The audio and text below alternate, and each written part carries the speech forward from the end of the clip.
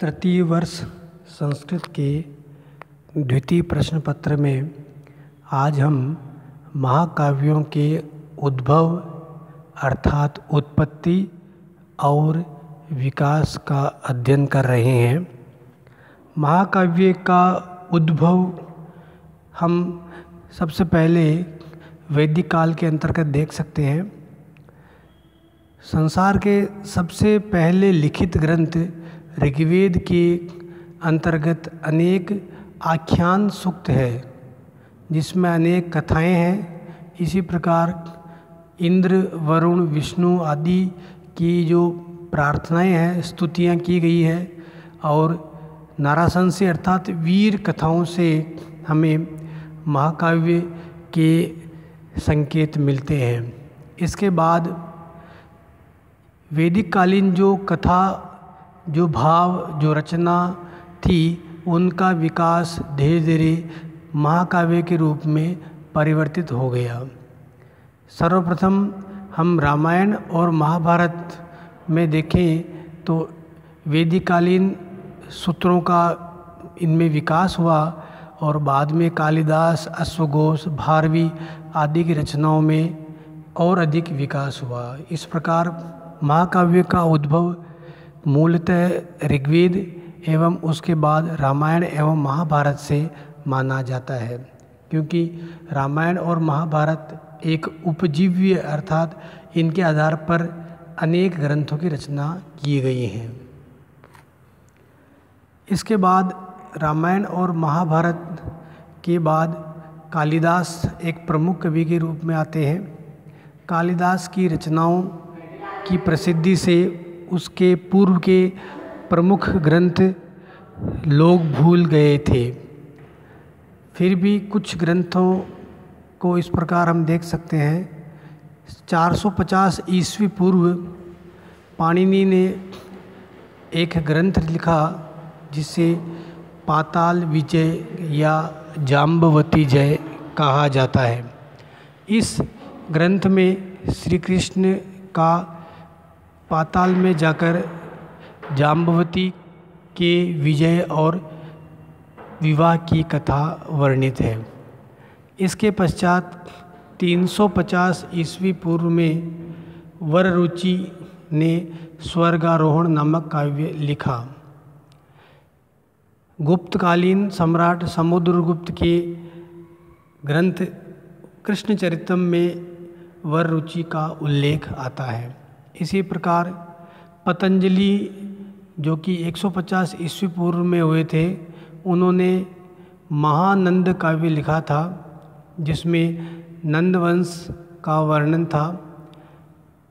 इस प्रकार हम देखते हैं कि 450 ईस्वी पूर्व से महाकाव्यों की रचनाओं का उल्लेख मिलता है, परंतु वो अभी प्राप्त नहीं हुई है, क्योंकि बाद के काव्यों की प्रसिद्धि से उनकी लोकप्रियता कम हो गई और समय के प्रवाह में वो विलुप्त हो गए। इसके पश्चात हम महाकवि कालिदास को देखते हैं। कालिदास का समय कुछ लोग ईसवी पूर्व प्रथम शताब्दी तो कुछ लोग ईसवी चौथी शताब्दी मानते हैं। कालिदास के जो काव्य थे वो बहुत सरल सरिस एवं उच्च कोटि के थे। कालिदास के ग्रंथों में जो आदर्श स्थापित हुए, वो बाद के कवियों ने अपनाए एवं कालिदास को प्रमुख कवि के रूप में माना जाता है।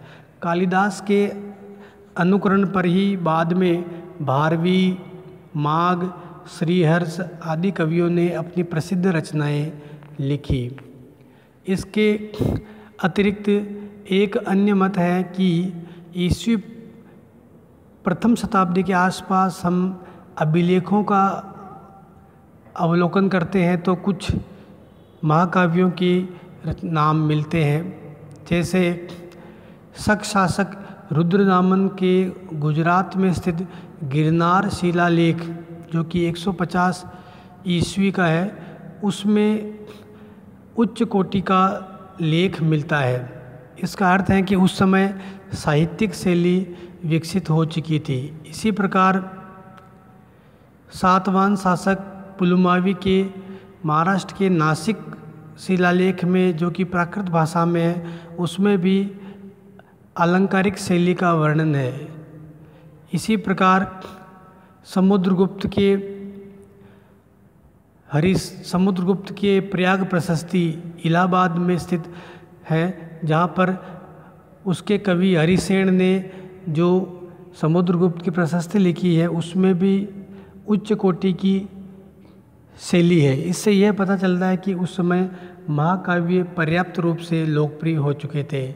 इस प्रकार निष्कर्ष रूप में महाकाव्यों का जो विकास या उद्भव है, वो ऋग्वेद से प्राप्त होता है। ऋग्वेद में आख्यान अनेक कथाएँ हैं।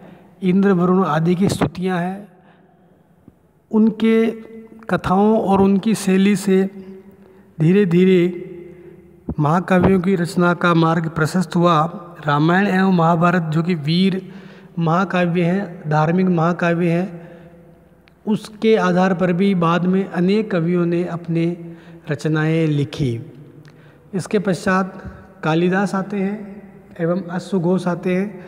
कालिदास को कुछ लोग चौथी, प्रथम शताब्दी ईस्वी पूर्व अथवा चौथी शताब्दी ईस्वी का मानते हैं। वहीं अश्वघोष को, जो कि कनिष्क के सभासद थे, अर्थात उनका समय प्रथम शताब्दी माना जाता है।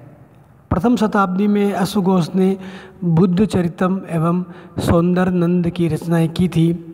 इससे स्पष्ट है कि प्रथम शताब्दी में महाकाव्यों की रचनाएँ हो रही थी। इसका अर्थ है कि इससे पूर्व भी अनेक रचनाएँ थी, जो हमने पढ़ा था कि 450 ईस्वी में 350 ईस्वी में एवं 150 ईस्वी पूर्व भी कुछ महाकाव्य थे, पर उनका अभी प्राप्त नहीं होते हैं। धन्यवाद।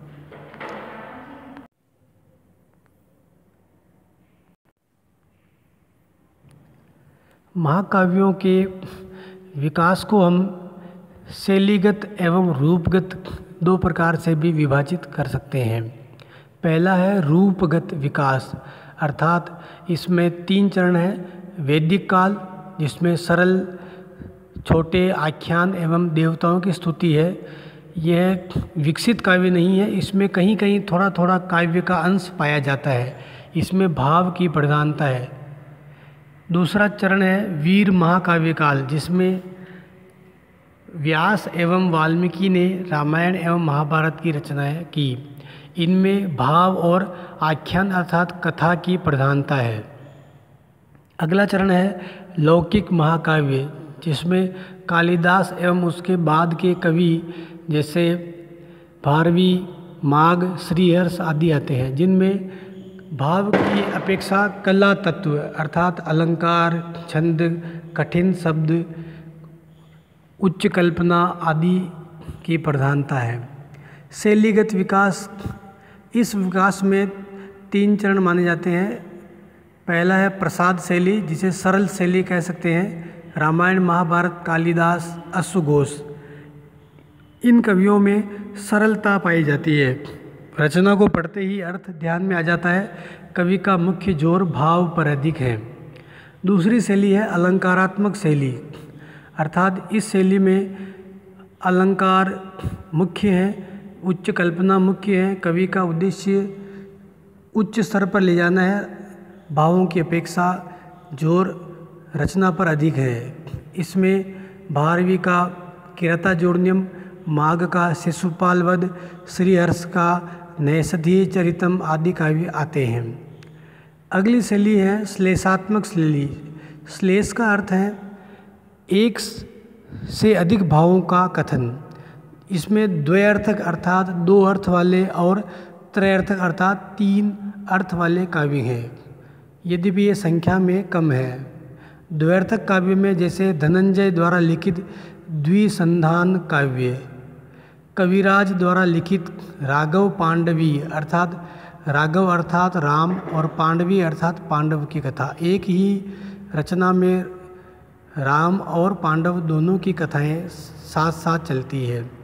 त्रैर्थक काव्य में तीन तीन अर्थों वाली रचनाएँ हैं, जैसे राज चूड़ामणि दीक्षित द्वारा लिखित राघव यादव पांडवीय अर्थात राम, कृष्ण एवं पांडवों की तीनों की कथा एक ही पंक्ति से तीन तीन अर्थ निकल करके और एक ही काव्य में तीन तीन रचना तीन तीन काल की तीन तीन व्यक्तियों की कथाएँ लिखी गई है। ये बहुत कठिन शैली है। इस प्रकार महाकाव्यों का हम उद्भव देखें तो हमें वेद से अर्थात ऋग्वेद से प्राप्त होता है, जिसमें देवताओं की स्तुति कुछ आख्यान, जैसे शर्मापणि संवाद यम यमी संवाद इनसे मिलता है। इसके बाद रामायण एवं महाभारत प्रसिद्ध महाकाव्य है। इनके आधार पर बहुत कवियों ने बाद में अपनी रचनाएँ लिखी। रामायण एवं महाभारत के बाद प्रथम शताब्दी में हम अश्व घोष को देख सकते हैं। कालिदास को प्रथम शताब्दी ईस्वी पूर्व अथवा चतुर्थ शताब्दी ईस्वी का माना जाता है। इसके पश्चात भारवी, माघ, श्रीहर्ष ये छठी शताब्दी से नवीं शताब्दी के मध्य की रचनाएँ हैं। इस प्रकार संस्कृत महाकाव्यों का विकास ईसा पूर्व एक हज़ार ईस्वी से लेकर के प्रारंभ हुआ था। धन्यवाद।